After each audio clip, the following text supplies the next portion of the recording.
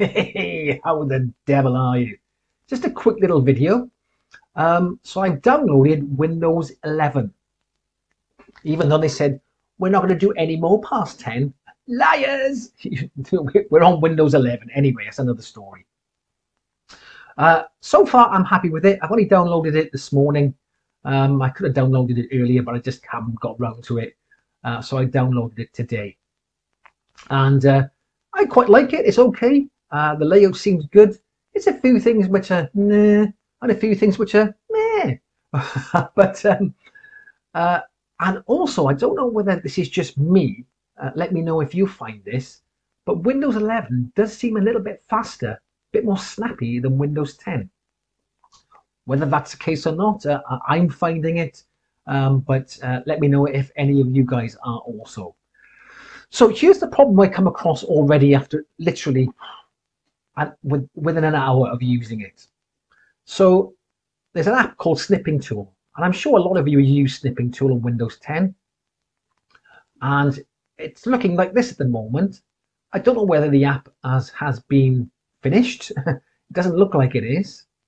I mean, that's that's new there. Uh, I haven't seen that before. But here's the problem. When I click new, I get a message. Copy the clipboard close. Now I click copy the clipboard uh, I suppose it just copies what you're seeing to clipboard, but that's not really what you want to do. And when you press Windows logo key plus Shift plus S to start the snip, nothing happens. It doesn't work. So very disappointing because I use the snipping tool quite a lot, and I'm sure a lot of you do as well.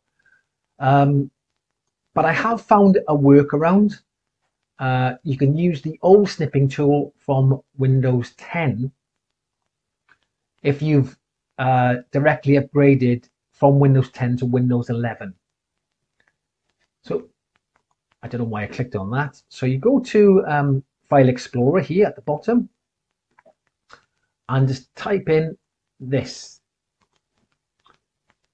So this is what you want to type in C colon backslash windows.old backslash windows backslash system32 backslash snipping tool dot exe. You can go into the system itself and find it going through that, through all that nonsense, but just type it into the, the top of the browser there. Okay, so I'll click it in and boom, up it comes. Okay, if you typed it in, you just have to click enter. Um, but I already, I'd already used it before, so I could just click the drop down box and it was already there. So there it is, and it works, and it still works fine. Ta-da! And it, will work okay. So that's a quick little workaround for now. I hope it does get sorted out. It's bound to be a, a few teething issues, but I'm surprised, you know, all this hype about Windows 11. I'm surprised that that, that hasn't been uh, spotted. But there we are. There's what it is. At least uh, there's a workaround for you for now if you want to use snipping tool until they resolve the issue. Anyway, thanks for watching, subscribe, like, all that nonsense. I'll catch you in the next video.